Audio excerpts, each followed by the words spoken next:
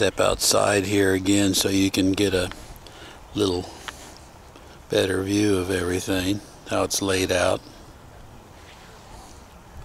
That's the tray that goes in and out all the way over to the other side. Incidentally, I put two bicycles under that tray. We have two chairs. Uh, what else? And uh, some other little odds and ends that we store just on that tray alone. And you can see the TV in the front of the coach.